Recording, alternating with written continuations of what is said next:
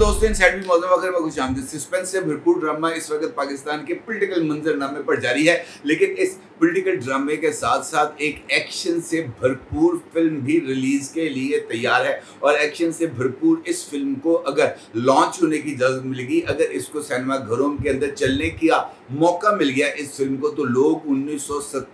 वाला judicial crisis को ना सिर्फ़ भूल जाएँगे, बल्कि पाकिस्तान में हकीकी मानों में एक ऐसा मुतवाज़ निज़ाम कायम हो जाएगा जिसको ख़त्म करने के लिए पाकिस्तान के जो सारी की सारी अशराफिया है, वो भी अगर मिल के बैठ जाए तो उसके लिए ये मुमकिन नहीं होगा कि वो इस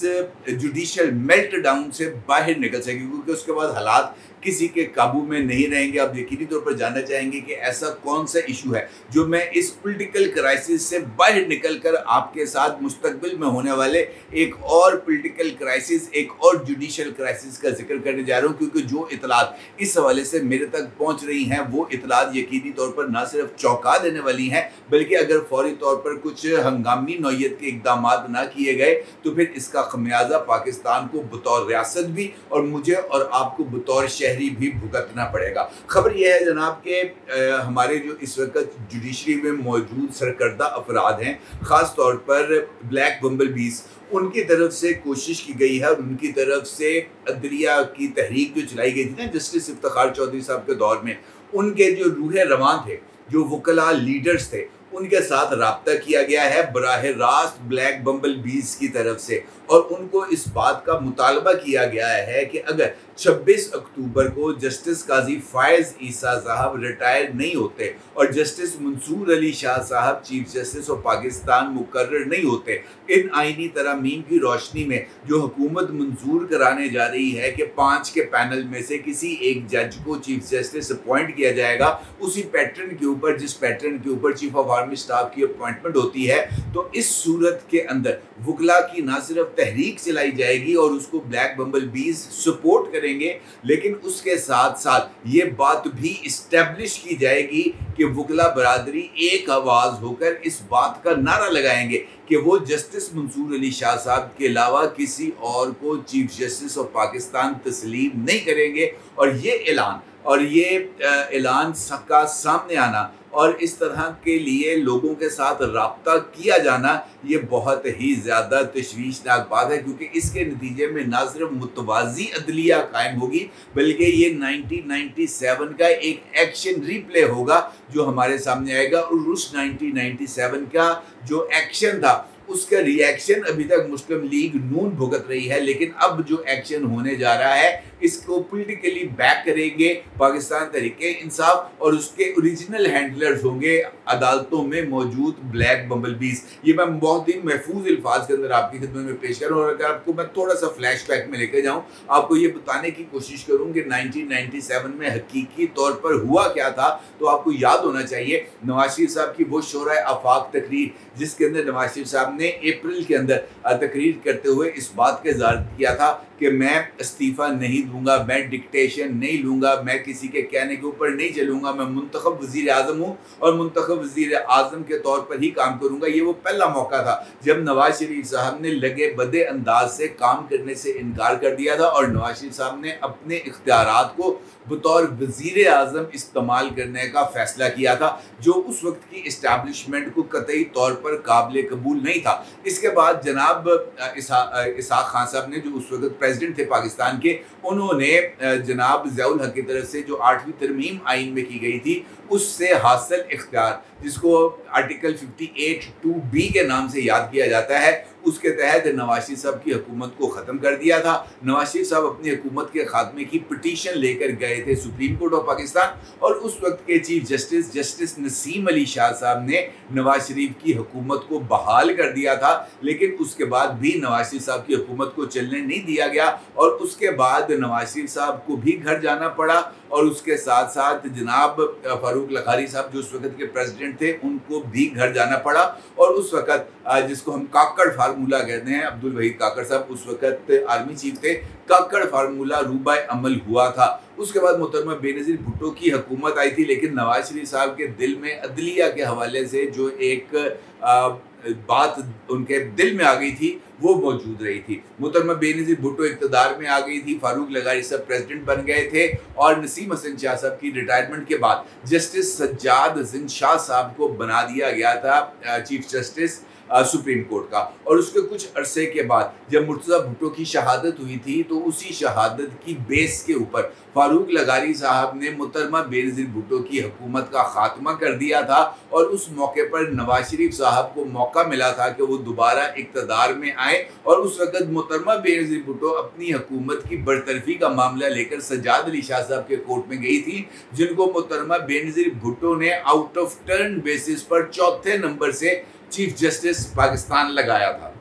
माजी का मैं आपको हवाला दे रहा हूँ। और उन्हीं सज्जाद अली शाह साहब ने जब मुहतरमा बेनज़ीर भुट्टो की पटिशन आई तो उसको मुस्तरद कर दिया। ये कहते हुए कि फ़ारूक लगारी ने जो इल्ज़ाम अपनी पटिशन के अंदर आयद किए थे, वो ना सिर्फ़ सौ फ़ीसदी दुरुस्त हैं, बल्कि उनकी हुकूमत का खात्मा जायज़ भी है। और अब हमें हकीकी अवाम के पास जाना चाहिए, ताकि जो भी हुकूमत आए वो हकीकी अवामी मैंडेट के साथ आए। और उसके बाद नवाज़ शरीफ साहब की हुकूमत आ गई नवाज़ शरीफ साहब के पास टू थर्ड मेजॉरिटी थी। लेकिन उस वक़्त जनाब फारूक लगारी साहब और सजाद अली शाह साहब का आपस के अंदर एका हो गया था और सजाद अली शाह साहब ने नवाज़ शरीफ साहब की हुकूमत के कान खींचने शुरू कर दिए थे, जिसको नवाज़ शरीफ साहब ने पसंद नहीं किया था। और फिर वो तारीख आई, जिसके ऊपर एक अदालती ड्रामा स्टेज हुआ और एक अदालत के अंदर अपने ही चीफ जस्टिस के खिलाफ अदालत लगी और अपने ही चीफ जस्टिस के खिलाफ कोयटा बेंच ने एक दरख्वास्त को एडमिट किया और उस दरख्वास्त को तस्लीम करते हुए, जिसको हम अल जिहाद ट्रस्ट केस के नाम से जानते हैं, सीनियरिटी के प्रिंसिपल को इस्तेमाल करते हुए, जस्टिस सज्जाद अली शाह, जो कि उस वक्त चीफ जस्टिस से उनको उसके अहदे से हटा दिया। और जनाब जनाब अजमल मियाँ साहब बन गए चीफ जस्टिस और उसके बाद बताया जाता है कि वहाँ पर ब्रीफ केस चले थे, रफीक तारर साहब कोयटा गए थे ब्रीफ केस लेकर, इस तरह की कहानियाँ चलती रहती हैं। लेकिन उस वक्त भी एक पैरल जुडिशरी ने अपने काम का आगाज़ किया था। अपने ही चीफ जस्टिस के खिलाफ एक बेंच तश्कील दिया गया था, जो जस्टिस सईदुज़मान सिद्दीकी साहब ने तश्कील दिया था सबसे पहले और फिर उस बेंच की सिफारिश के ऊपर उस वक्त के सीनियर मोस्ट जज जनाब जस्टिस अजमल मियाँ साहब ने उस बेंच की तश्कील की थी, एक लार्जर बेंच की, और उस लार्जर बेंच ने अल जहाद ट्रस्ट केस का फैसला करते हुए सीनियरिटी के प्रिंसिपल को लागू कर दिया था। अब भी एक ऐसा ही सिनेरियो को डेवलप करने की कोशिश की जा रही है। ये जो मैंने आपको माजी का हवाला दिया, ये इस वजह से दिया कि अब मुस्तकबिल के अंदर, अक्टूबर के अंदर इस जैसा एक नया ड्रामा स्टेज होने जा रहा है और उसके हवाले से पहला पत्थर, पहला कंकर मार दिया गया है और वकला तहरीक के सबसे इम्पोर्टेंट रहनुमा जनाब मुनीर मलिक साहब, जो कि वकला तहरीक के बानी थे कन्वीनर थे और उस वक्त वकला तहरीक को लीड करने वाले थे और इस वक्त जस्टिस काजी फायज ईसा साहब के वकील थे। जब जस्टिस काजी फायज ईसा साहब के खिलाफ इमरान खान के कहने के ऊपर आरिफ अलवी ने प्रेसिडेंशियल रेफरेंस को फ़ाइल किया था। जस्टिस जो है, और ये जज भी रह चुके हैं। जनाब मुनीर मलिक साहब की तरफ़ से एक बयान सामने आया है, और जस्टिस मुनीर मलिक साहब ने ब्लैक बम्बल बीस के इशारे के ऊपर ये बयान दिया है। ये कहते हुए कि 26 अक्टूबर को जस्टिस काजी फायज ईसा साहब रिटायर होंगे, और 26 अक्टूबर से वकला बरदरी जस्टिस मंसूर अली शाह को चीफ जस्टिस ऑफ़ पाकिस्तान तस्वुर करेगी और उनके अलावा किसी और का हुक्म वकला बरदरी तस्लीम नहीं करेगी। और इस मकसद के लिए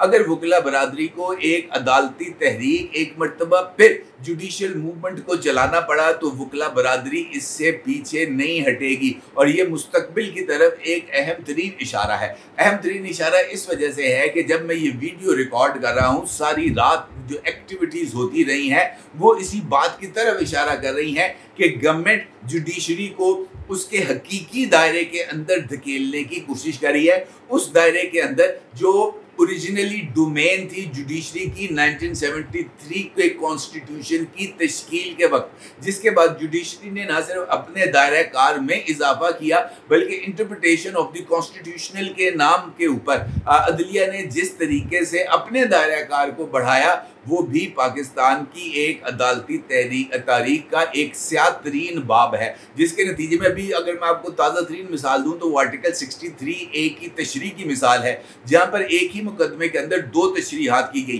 पहली तशरी ये की गई कि वोट काउंट होगा, लेकिन जो बंदा जिसने वोट कास्ट किया है पार्टी पॉलिसी के बगैर, उसको अपनी सीट छोड़नी पड़ेगी। जबकि दूसरी तशरी जब पंजाब के अंदर वोट ऑफ़ नो कॉन्फिडेंस आ रहा था, उस्मान बुजार के खिलाफ तो उस वक्त तशरी ये कर दी गई कि वोट भी काउंट नहीं होगा और बंदा भी डी सीट होगा। इस तरह के फैसले मुख्तलिफ़ मौाक़े पर सामने आए हैं और अभी रिसेंटली मखसूस नशस्तों के हवाले से जो केस का फैसला आया है, वो भी इंटरप्रटेशन ऑफ़ द कॉन्स्टिट्यूशन के नाम पर एक इस तरह का मज़ाक किया गया है जिसकी माजी के अंदर मिसाल नहीं मिलती। तो इसका मतलब ये है कि इन मिसालों की रोशनी के अंदर, और जनाब मुनीर मलिक साहब के इंकशाफात के बाद ये बात अब अजहर बिन शम्स है, यानी रोशन की तरह आया है कि पाकिस्तान के अंदर इन कॉन्स्टिट्यूशनल फ्रेमवर्क से बाहर निकलकर